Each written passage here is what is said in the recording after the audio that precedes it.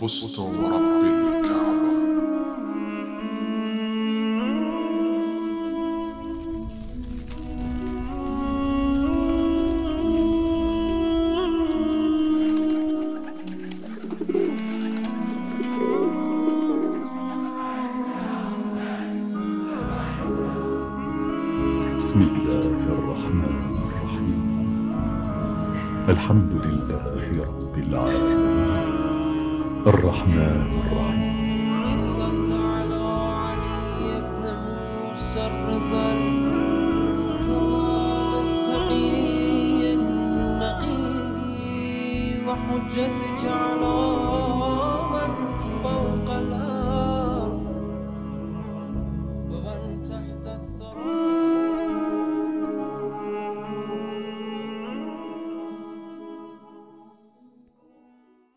بسم الله الرحمن الرحيم الحمد لله رب العالمين Аллахума салли аля Мухаммадин ва Мухаммад.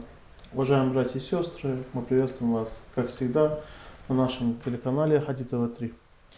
И мы с вами продолжаем нашу тему. Мы говорили с вами о великой женщине Фатиме Захры, саламу алейха, так как мы решили посвятить эти 20 дней именно этой личности, так как вы знаете, что эти 20 дней являются для нас на самом деле печальными днями, так как в течение этих 20 дней существует разногласия. Мы говорили, что э, некоторые говорят, что Фатима Зара саллаллаху алейха покинула этот мир э, после смерти пророка через 75 дней, другие говорят 95 дней. То есть существует разногласия в 20 дней, поэтому наши ученые, шиитский мир, они все эти 20 дней проводят в трауре. И в честь этого мы решили именно записывать 20, записать 20 передач, которые относятся именно к этой теме, и пригласили для этого нашего гостя, Худжатуль Ислам Валь Мусумир, Шейх Курбан. Шейх Курбан, салам алейкум. Валейкум ассалам рахматуллах баракет. Шейх Курбан, э, на прошлых двух передачах мы с вами начали говорить о вступлении, на самом деле, к той теме, которую вы озвучили еще на первой передаче. Мы сказали, что мы будем говорить о миссии Фатимы Захры. Вот.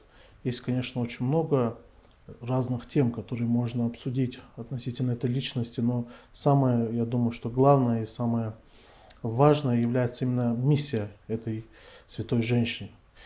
И я хотел бы, чтобы вы продолжили, долго говорить я не буду, прошу вас.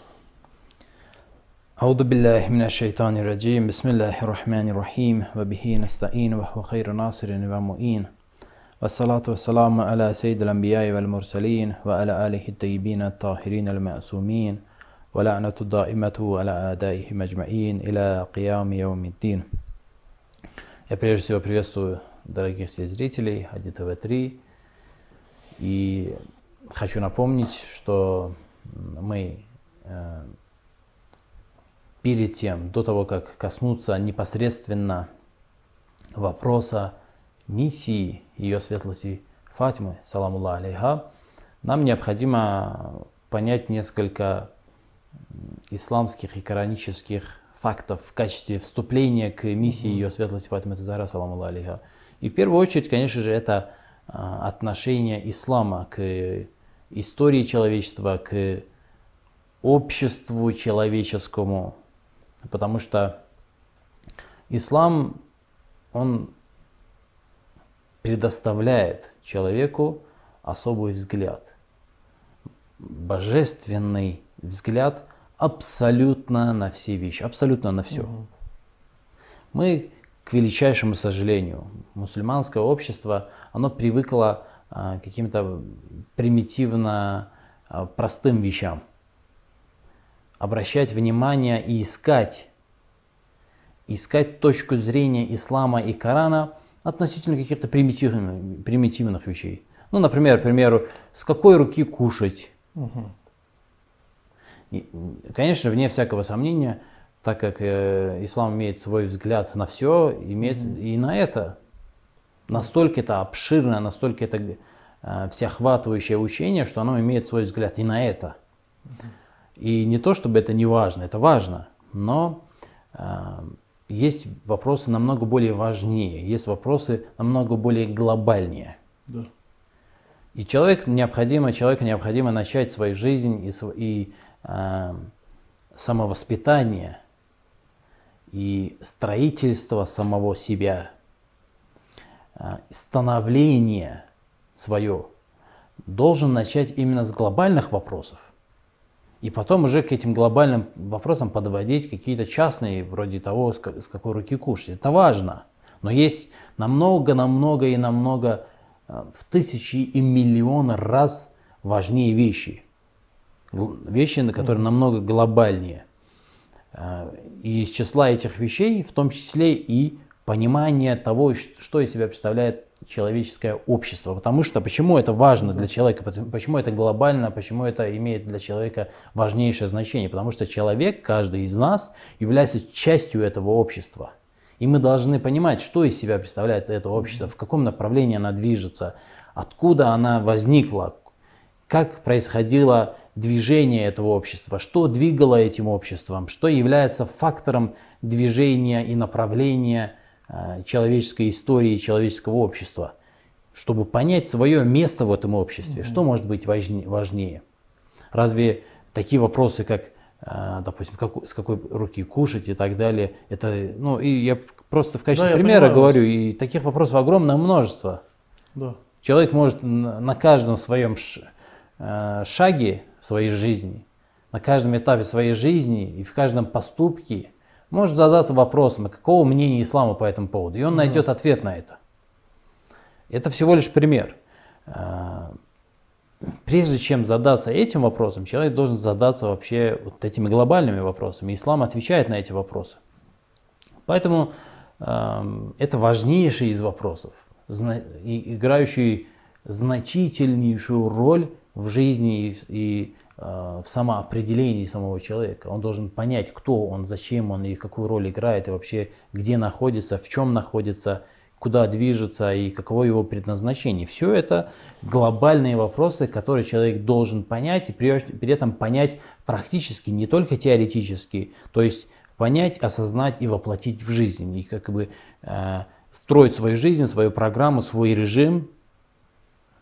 То есть не жить абы как попало, да, жить э, по определенной программе. У человека должна быть определенная программа. И вопрос в том, э, как выстраивать эту программу. Эту, эту программу он должен выстраивать на основании вот этих вот глобальных вещей, на, на основании э, понимания в том числе и того, что из себя представляет человеческое общество и что из себя представляет человеческая история.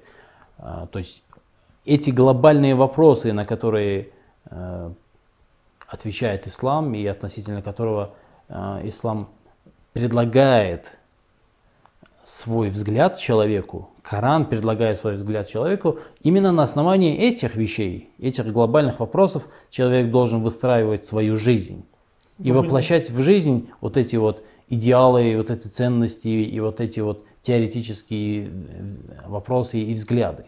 О каких конкретно глобальных вопросах мы говорим? Ну, в том числе и понимание того, что из себя представляет, например, пример. А, в первую да, очередь это... Например, пример и понимание того, что из себя представляет человеческая история. Тот взгляд, о котором мы говорили ранее.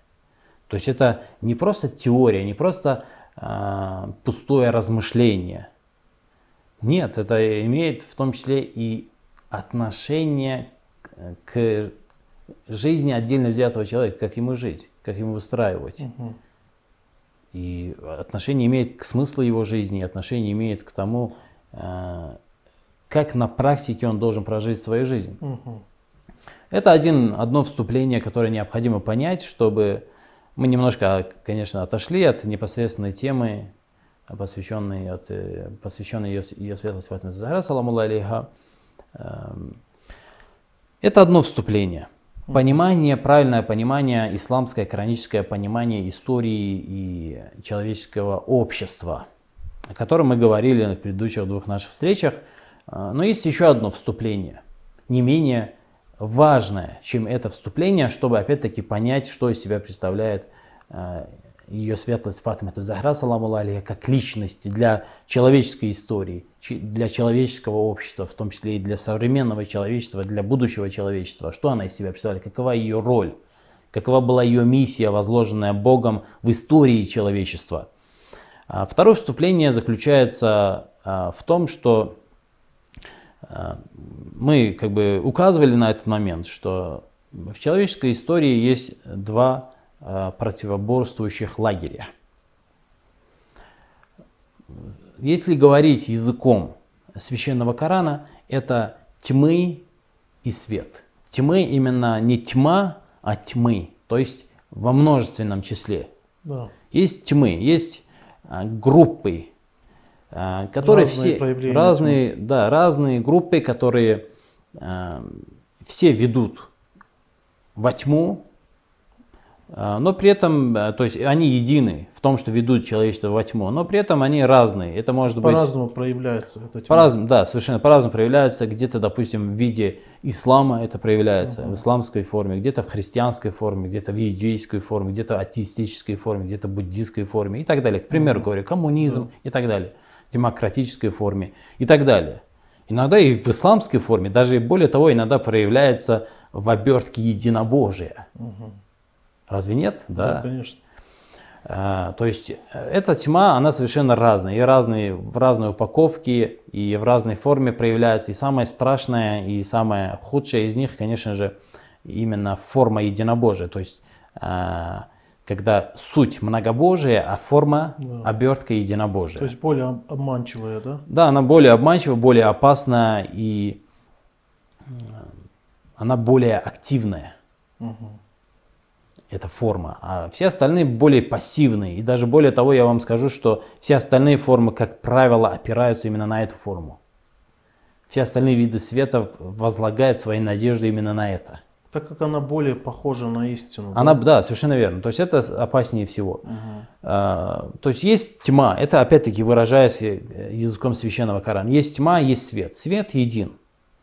Свет един – это свет Аллаха. Аллах нуру самавати валь ард. Всевышний говорит в священном Коране, что Он есть свет небес и земли. И здесь есть а, те, кто транслирует этот свет. Именно транслируют. Есть трансляторы света, есть проводники света, есть те, которые, а, как говорит э, сам священный Коран, «Ваджальнахум аимматан яхдуна би амрина». Мы установили их имамами, то есть есть какая-то группа людей, узкий э, круг людей, которые являются имамами. И, конечно же, это не просто так, мы опять-таки говорили об этом, что это результат испытаний, которым они подверглись до земной жизни, Да. и в результате этого получили эту миссию. Это, это не просто так, то есть это не беспочвенно, что одним дают эту миссию, другим эту миссию не дают. То есть это плод их усилий, да? Совершенно верно. То есть это и приложили. выбора. Выбора. Плод и результат их выбора. Они выбрали это. Они э, сделали шаг, они прошли какое-то испытание. Это опять-таки связано в первую очередь с выбором. Не столько с усилиями, сколько с выбором. Потому что э, тот, то испытание, которое э, касается до этой жизни, оно связано с выбором. А то, что есть в этой жизни, оно связано с усилиями. То есть в этом есть разница. Это люди, которые выбрали это, выбрали ответственность, э, то есть проявили инициативу и смогли, прошли это испытание в этой жизни и подтвердили свои слова и свой завет с Богом. И Всевышний они говорит, что, и обратите внимание, Всевышний не доверяет им. Это очень важно. И в Священном Коране это нагляднейшим образом разъяснено, что Всевышний не доверяет им. Не просто так, что они выбрали в той жизни, то есть до этой жизни, до того, как родиться, они родились, и, и им дали выбор, они выбрали. И этому выбору Всевышний не просто так доверился, а дал им возможность проявить себя. И ярчайший пример это его светлость Ибрагим, алейхиссалату вассалам, то есть ярчайший пример из аятов Священного Корана имеется в виду, когда а, Всевышний назначил через испытание, назначил а, его пророком и посланником, но имамом еще не назначил. И подверг его а, Испытание. испытаниям. В Священном Коране есть аят, в котором говорится, что а, «Вапталя раббу Ибрахима», что он подверг его испытаниям. И когда Ибрахим, алейхиссалату вассалам, успешно прошел а, это испытание, тогда а, Всевышний говорит, теперь я устанавливаю тебя имамом для людей. После испытаний. То есть этот выбор, то есть это назначение и эти миссии, они основаны на выборе, но необходимо было этот выбор подтвердить и доказать здесь, в этой жизни, уже усилиями, уже испытаниями. Поэтому получается, что изначально э, Всевышний Аллах даровал, допустим, э, пророку Ибрагиму, да будет мир ему, пророческую миссию, также он даровал посланническую миссию, но миссия имамата именно э, должна была, скажем так, да- дана быть ему после того, как он будет испытан на земле, да, получается таким образом? Э, Нет, если вы имеете в виду, что пророчество и посланничество без испытаний были дарованы, нет, ни в коем случае. Они, Ну, Вы же, э, все было через, через, через испытания, все. так как мы до этого говорили, что Всевышний Аллах еще Тама избрал их, то есть еще до того, как они пришли и жили в этой мирской Нет, как жизни. таковой не было такого. То А, есть не было, не- да? речь не об этом шло, когда мы говорили об этом, мы говорили А. не об этом, что а, эти люди прошли какое-то испытание, и на основе этих испытаний, а, то есть э, имтихан, то, что сказано в преданиях, они проходят какой-то имтихан, какое-то испытание, которое связано не с усилиями, а с- связано с выбором и волей. И на основе этого выбора, на основе этой воли Всевышний дарует в этой жизни им испытания. Если они проходят это испытание, они получают то, что они выбрали. Если не проходят испытание, то не получают. То есть это имелось в виду изначально. Если высказана была какая-то другая позиция и как- как-то иначе было сказано, Она не это- была раскрыта, скорее да, всего. она скорее, да, Да. э, мы просто не раскрыли, не, Да. не не выразили их. Точно даже единобожие, например, на, на примере обычных людей. Потому что все люди, все люди, нету людей, которые сказали бы, что нет, ляста бираббина, что ты не являешься нашим Господом. Не было таких людей. Если бы были бы люди такие, которые сказали бы, нет, ты не наш Господь, они бы не появились бы здесь. Потому что нет основания для чего? Для, того, что Для испытаний. А, для испытаний, да. Чтобы подвергнуть их испытаниям в этой жизни. Действительно, ли их слова сходятся с Да, их совершенно верно. Но так как или- все люди, которые роди- рождаются на земле, рождаются здесь, они выбрали это. Они сказали, что да, ты наш Господь. Они признали его господство, его божественность. И поэтому, придя сюда, они подвергаются испытаниям. Кто-то проходит испытания, кто-то не проходит испытания, кто-то может э, быть верным своему завету с Богом, кто-то не верен своему завету с Богом. Пророки и посланники это те, которые сделали особый выбор, сделали, проявили особую волю в, отношении, в отличие от э, других людей. И в этой жизни подтвердили и прошли испытания. И пример, опять-таки наглядный пример, это аят священного Корана, когда «Инниджа илюка линнаси имама», когда э, Всевышний по поводу своего пророка и посланника Ибрахима, алейхиссалату вассалам, говорит, что теперь я назначаю тебя имамом. Это было э, после его пророческие и посланнические миссии из Корана, это ясно, э, как бы явствует из священного Корана. И по- помимо этого было после испытания, потому что опять-таки в Коране сказано, что он подверг его испытанию, и потом, когда тот прошел испытание, сказал, я назначил тебя имамом. И точно так же, как э, имаматство, до имаматства Ибрахим, алейхиссалату вассалам, был подвергнут испытанию, точно так же он до посланнической миссии, пророческой миссии был подвергнут испытанию, которое успешно э, прошел. И поэтому, когда Всевышний говорит «Ваджальнахум аимматан яхдуна би амрина», это, то есть мы назначили их имамами, которые наставляют на верный путь по нашему велению и по нашему приказу, это люди, которые прошли это испытание. Это особый круг, то есть это не просто там кому-то дал эту миссию и кому-то не дал. Нет, это выбор самого человека. Каждый сам выбрал эту миссию и сам э, согласился на это, за- заключив завет с Богом. То есть он выбрал еще в той жизни, скажем так, но здесь он доказал то, что действительно... Совершенно верно, совершенно верно. То есть таким образом, там нету испытаний как такового. То есть именно испытаний, связанных с действиями и с усилиями, которые здесь в этой жизни, до этого, когда Алясту бираббикум, разве я не ваш Господь Всевышний спрашивает, там нет испытаний, там есть воля. Нужно проявить волю, нужно проявить выбор. То есть нужно выбрать. А здесь нет, же нужно на действиях, через жизнь, через жизнь в обществе, необходимо это все доказать.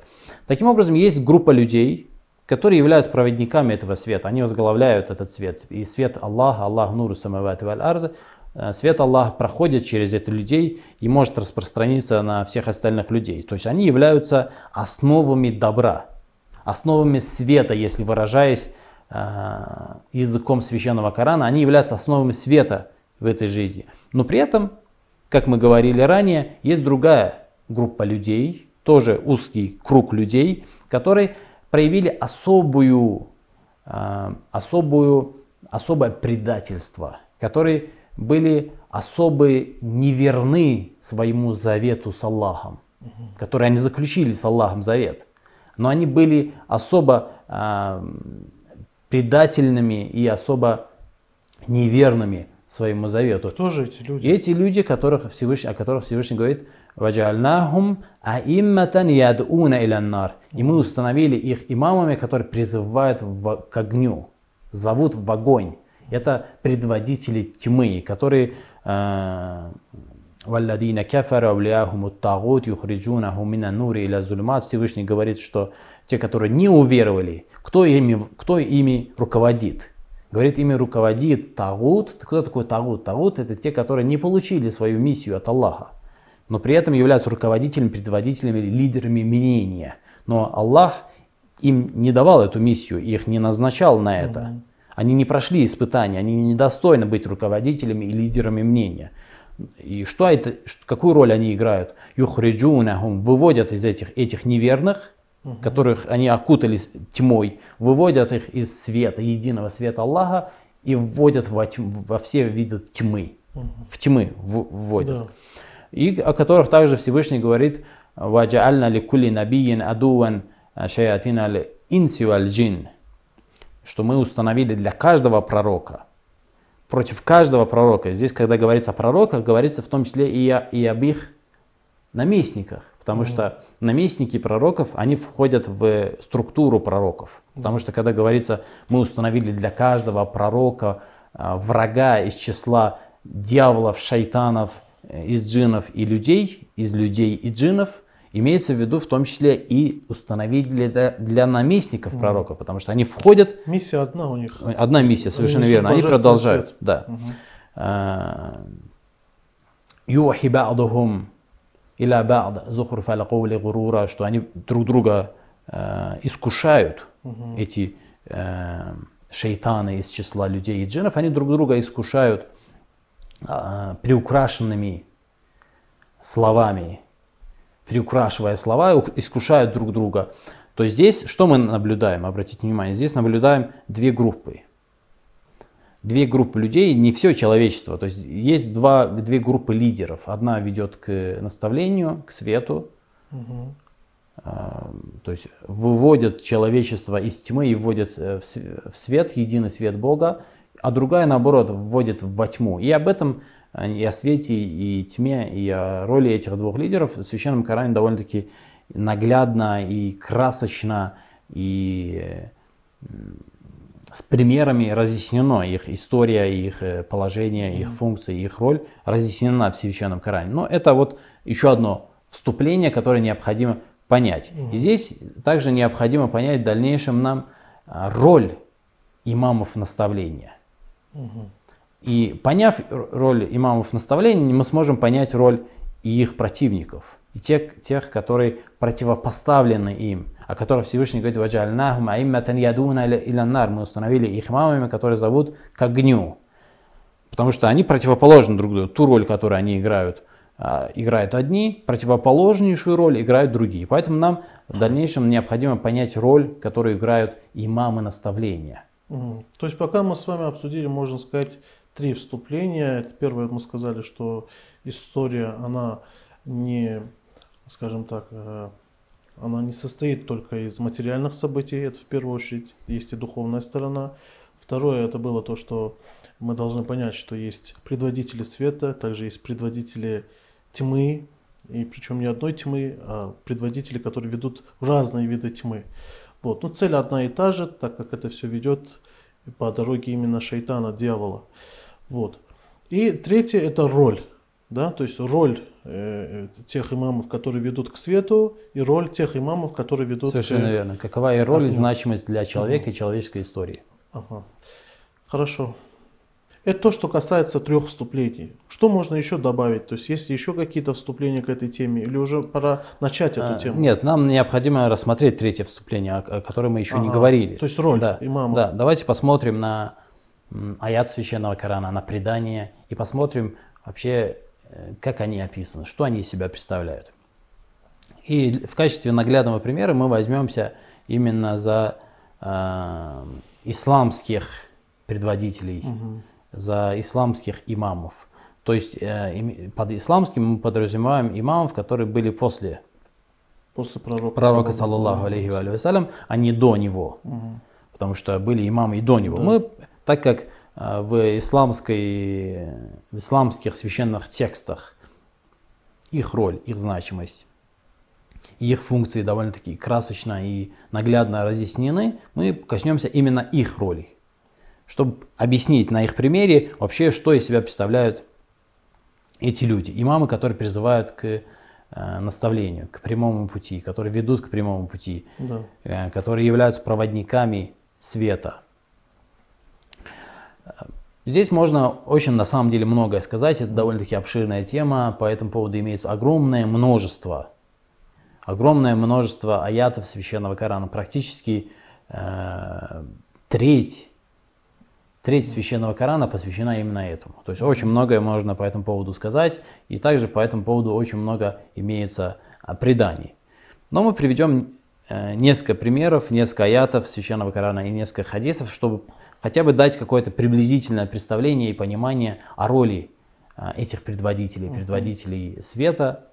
И поняв их, мы, в принципе, э, автоматически поймем роль и предводителей э, тьмы. В одном из аятов священного Корана, который был ниспослан в день Арафа, во время последнего э, паломничества его светлости, посланник Аллаха, саллаллаху алейхи ва вассалям, прощального паломничества его светлости, э, в котором э, Всевышний, обращаясь к э, своему посланнику, говорит, «Я юхар расуль баллиг ма унзиля илейка». وإن لم تفعل فما بلغت رسالته والله يأسمك من الناس Это аят священного Корана, который по единогласному мнению, по единогласному мнению всех ученых, будь то это шиитский ученый, будь то это суннитский ученый, нету никаких разногласий в этом относительно того, когда был неспослан этот аят. Согласно единогласному мнению, этот аят был неспослан именно в день Арафа. Конечно, есть, э, некоторые говорят, что был неспослан в Гадирхуме, который был через несколько дней э, после день, дня Арафа, но это здесь есть э, как бы, это не то чтобы разногласие, здесь это на самом деле не разногласие, потому что аят был неспослан именно в день Арафа. Но так как э, день, в день Арафа произошло определенное событие, этот аят был повторен и в, в Гадирхуме. Но он был неспослан, естественно, в день Арафа. То есть, что в аяте Священного Корана говорится? О посланник, я юхар расуль, баллиг ма унзиля илейка. А, Донеси до людей то, что было неспослано тебе. Это когда говорится? Это говорится в Мекке, в первые дни посланнической миссии посланника Аллаха, саллаллаху алейхи вассалям. Это говорится в Медине в первые годы посланнической миссии, именно в Медине. Нет, это говорится во время прощального паломничества, когда уже миссия посланника Аллаха, саллаллаху алейхи вассалям, подошла к концу. Практически подошла к концу. И что произошло? До этого были неспосланы все остальные аяты Священного Корана практически.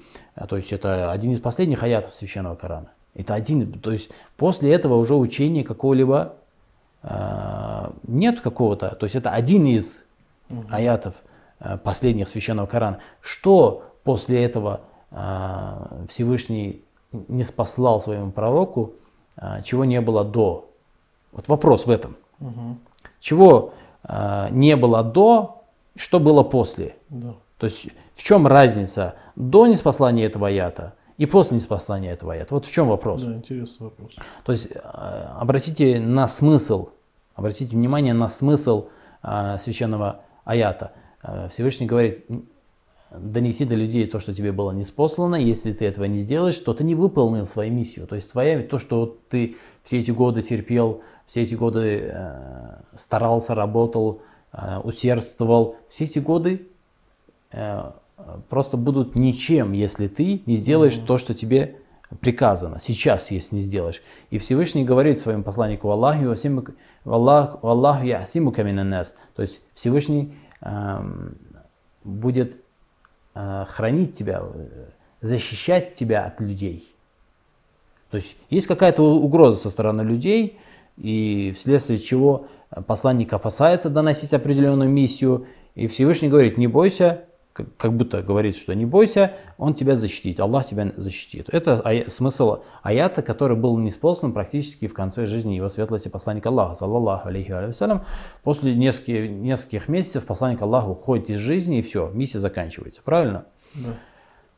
А, О чем, что произошло в день Арафа и что произошло в, э, позже? Шейх, Шейх Курбан, если разрешите, мы ответим на этот ваш вопрос на следующей передаче, тем самым заинтригуем наших телезрителей, иншаллах. Иншаллах.